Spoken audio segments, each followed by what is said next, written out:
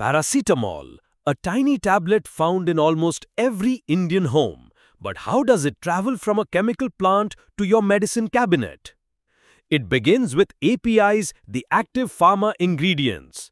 India makes billions of tablets, but key chemicals like P-aminophenol are still imported, mostly from China.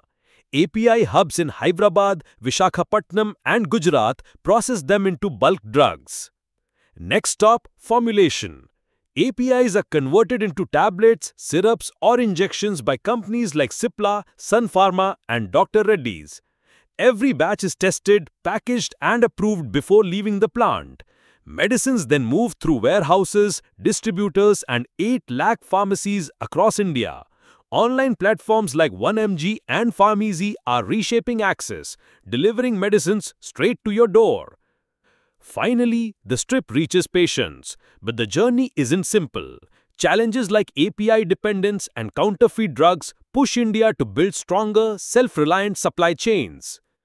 Want to master global supply chains like this? From raw materials to retail, learn every step with hands-on industry training at Pertecnica Maritime Logistics Academy. Build the skills the world needs. Join us today.